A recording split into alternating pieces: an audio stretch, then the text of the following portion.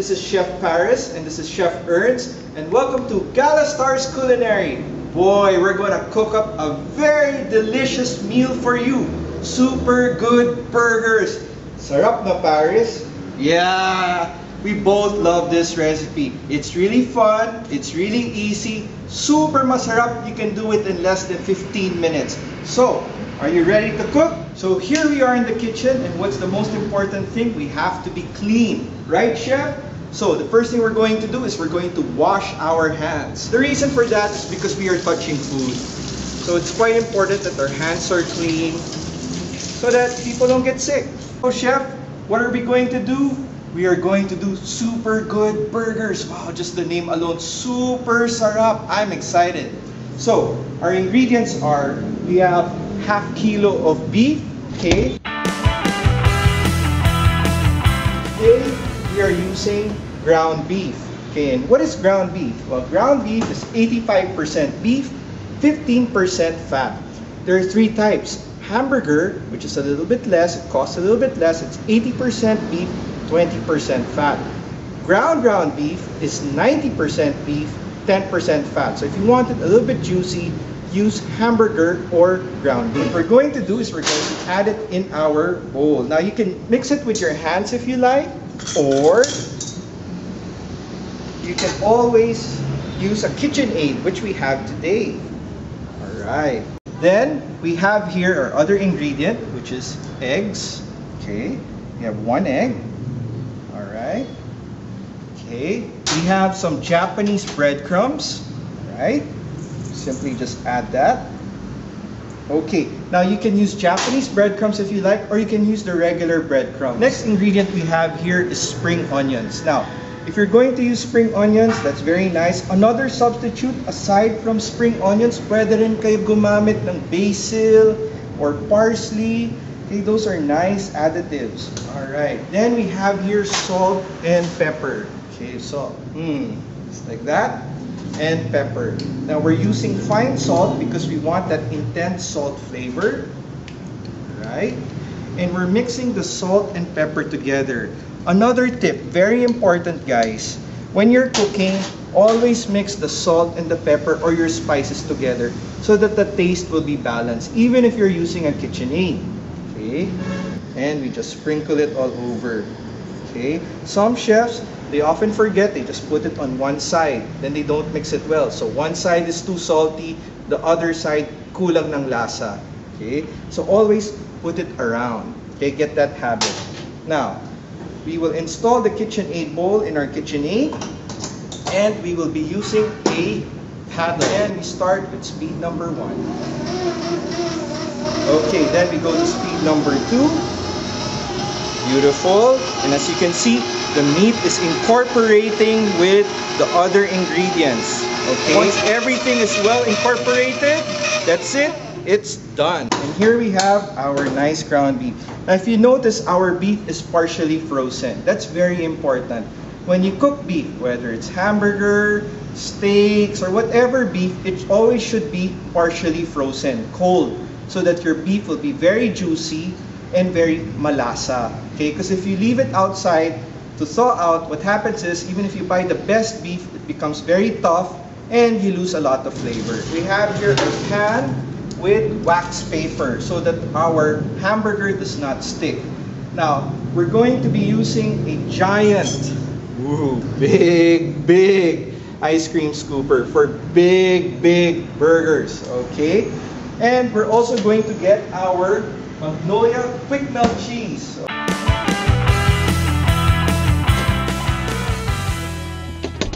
If you're going to serve, let's say, sliders or small burgers, you can always use the smaller ice cream scooper. This one is what we call the size 18. But for family and friends, I love to use this big one right here. Okay, you like this one too, right? Yeah. Okay, so what we're going to do is we're going to get our beef. Okay, and we're going to slide it in our bowl so it's nice and flat. We just form it. Okay, form into a ball just like that okay nice and sticky okay if you want a more firm burger you can always add more breadcrumbs if you like okay And you get another piece. Just like that. Simply just slide it over. Yan. Mm, I love this. This is lasang langit. Tastes like heaven talaga ito. Diba, Paris? Diba, chef? Whoa. Come on, smile. This is very good. Now, after forming it into a ball, okay, we can set this here. Okay, and what we're going to do is we're going to get our quick melt cheese and we're going to put it in between the burger. So this type of burger, you can eat it like a regular burger or what some people do, they tear it apart while eating it. So this one, you put the cheese, okay, and you can be very playful with this one. You can put quick melt cheese and then a little parmesan cheese. So you can mix a hard cheese with a soft cheese. And since I love this cheese, I'm gonna add a little bit more. And okay, we're gonna close it and form it into a ball. We have to close it well. Then we form it into a patty. So Paris, we're going to have a lot of shows, right? We're going to make great recipes. For those who are interested, we have Facebook, Sylvia Reynoso Gala Culinary. Okay, this will come out. We also have a website, www.sylviareynosogala.com. And we also have a Facebook fan page, Gala Stars Culinary. So I'll see you guys there, alright? So here we have our grill. Now there are two types of grill that you can use. You can any pan, as long as it's flat. You can use a grill pan that has grooves, just like this, which you can use at home. Or you can use what we call the super grill. It's a nice flat pan. But very important, when you cook your burgers, your pan should be flat so that the cooking will be very even. Alright? Now what I'm going to do is I'm going to turn on the heat. We're going to put it on high fire. Then we're going to brush it with some oil. Now you can use any vegetable oil that you like. You can use canola oil, corn oil, or my favorite, the Nutri oil. This is a silicone brush. Okay, so it's heat proof. Once the pan gets hot, or our super grill, we will lower the heat so that when we cook our burgers, it will not be burned. The secret to making good burgers is using low heat. Heat the pan first, right Paris? We heat the pan first. Once it begins to get hot, we lower the heat so that the outside will be evenly cooked, but also the inside. If you cook at high heat, what happens? The outside, chunog, super burned, while the inside will still be raw. Now I think I'm going to need a chancet or metal spatula. Oh, there it is. I think I'm going to need another one. Oh, there it is. All right, so we're going to cook right now. So here we are. We're going to get our burger and we're going to put it in our pan. Woo, look at that sizzle. I love it, I love it, I love it. Okay, wow. Mmm, chef, what do you think? Nice, no? Mmm, sarap. Okay. Now, very important when you're cooking your burger, don't play with it. Don't touch it. You know, don't press it. You know, like what they do in the movies. Don't do that. If you do that, what will happen? You have the toughest burger in the world. Sayang lang. Okay? What you can do is brush it with a little bit of oil on the side. Not on top, okay? It should be on the side so that it won't burn. Okay, if you put it on top, the top part will be black. Now, it depends on how big your burger is. Mmm, you like that, Paris? Yeah, you can smell it, right? It's cooking. Now, it's very important, um, depending on the size, how long will your burger cook? For this size, it takes about four and a half minutes to five minutes per side. So, if you want it medium well, if you want it well done, five minutes to six minutes, okay? But it's always nice to cook your burger medium, medium well, with a little bit of blood in the middle, so that it still has that nice juicy flavor, but you know, really, really sarap na scent and smell, okay? So we just cook it like that, alright? And as you can see, nice sizzle. And again, very important, the heat should just be medium-low or low fire. And here it is, it's almost done. Got that nice color. Woo! Yeah, look at that. And you get this one when you flip, one big scoop, just like that. So it comes off easily. Wow, look at that. That really looks good. All right, and here it is. Nice firm texture. Yeah, but still very juicy. So we turn off the heat and we get our burgers. Okay, so we get another one.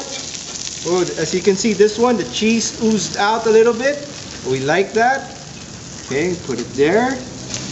Woo, this is perfect for any occasion. I really love this. This is one of my favorite burgers all time. All right. And the last piece. Woo. Okay, after this, we're gonna put this on a plate and we're gonna make really good burgers. Super good burgers. All right, so here we are. We're now going to make our creamy cheese sauce. So we have here our cream cheese. Ooh, I love cream cheese. If you want an extra special, you can use mascarpone cheese if you like. Okay, or any cheese that you like. Then we have here some yogurt. Mmm, creamy yogurt. Then you can use a wire whisk if you like. But if you want it really easy, then you use this one, the hand mixer. Hold the bowl, speed number one. There. We're giving it a good mix. So chef, you know, we always mix in one direction. Then we go to speed number two, more power. We mix this for about 30 seconds one minute. Okay, just like that. What we will do is we're going to put some of our cream cheese sauce into our sauce boat. And then we're going to leave some for our burger.